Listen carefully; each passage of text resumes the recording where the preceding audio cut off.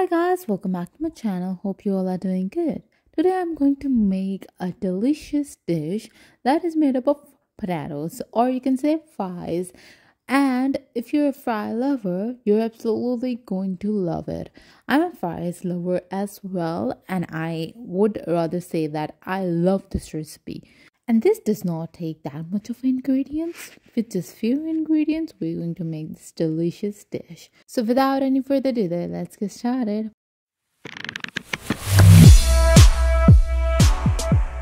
First of all, I have taken four potatoes. I've washed them and I've peeled them quite well. And with that, I'm gonna cut it into finger style or you can say into fries form just like fries or you can use also a fry cutter. That would be rather much easier.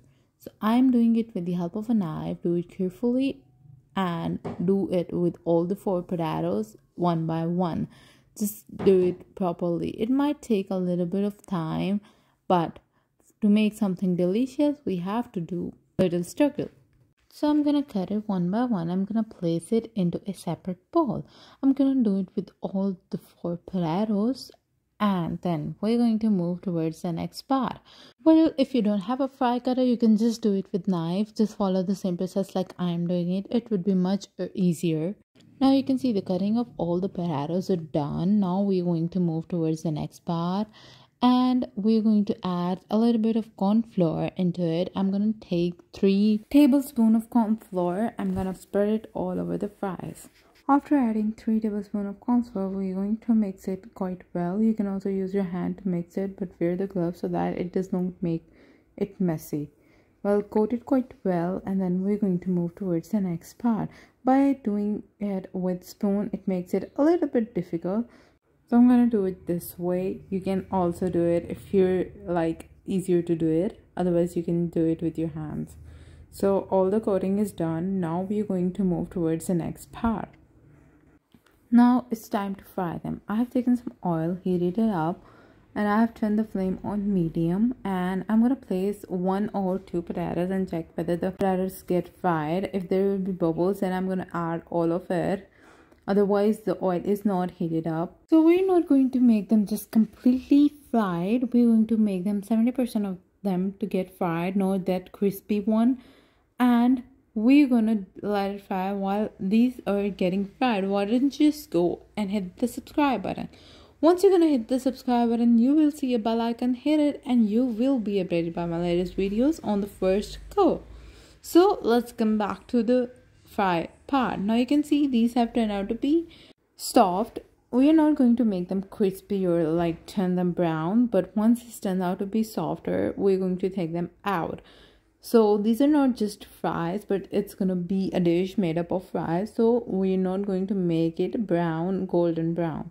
I'm gonna take it out. You can also use a strainer to make it less oily so that the excessive oil from these fries get out of air. So the potatoes have gotten fried. Now we're gonna take some oil into a separate pan and with that i'm gonna take one and a half teaspoon chopped ginger and one half teaspoon chopped garlic. You can also take a ready-made uh, that's available in any supermarket ginger and garlic. With that i've taken some green chilies. I've cut it off like i've chopped it.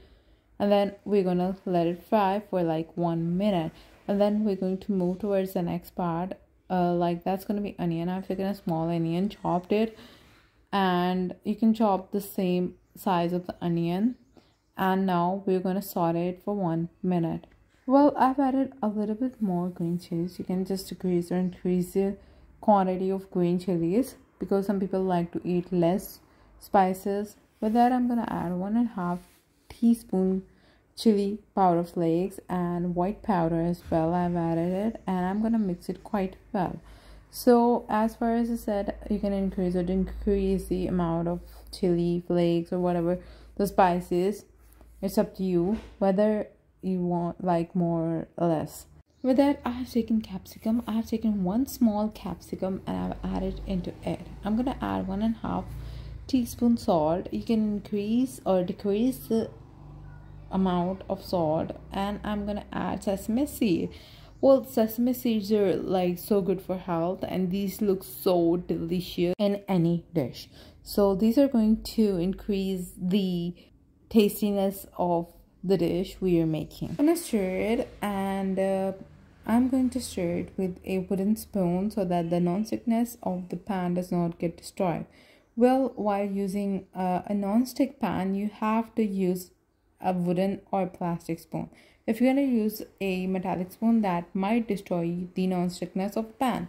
Okay i have added one tablespoon of soya sauce and then we're going to add the next thing that's going to be red chili sauce. And i've added ketchup three tablespoon. So let's move towards the next part that's going to be one and a half cup of spring onion. And we're going to mix it quite well so that the all ingredients get mixed and we're gonna let it cook for one minute. After cooking for one minute i'm going to add flour corn flour and water mixture. Just make the right amount of it and then mix it. It's gonna make the mixture a little thick. It will change the consistency and now you have to stir constantly. Otherwise there would be a little bit of clumps into the dish and now you can see it has thickened. Now we're going to add a vinegar. I have added one tablespoon vinegar and i'm going to mix it quite well. The vinegar will give it a better taste if you do not want uh, like the sourness so you can skip the vinegar part. Now i'm going to add the potatoes into it and i'm going to mix it again now mix it quite well and our recipe is about to be ready. Now I'm going to take it into a representable dish and I'm going to serve it in front of the guests. Well, I'm going to sprinkle some sesame seeds onto it and that's going to give it a good garnishing and good representation.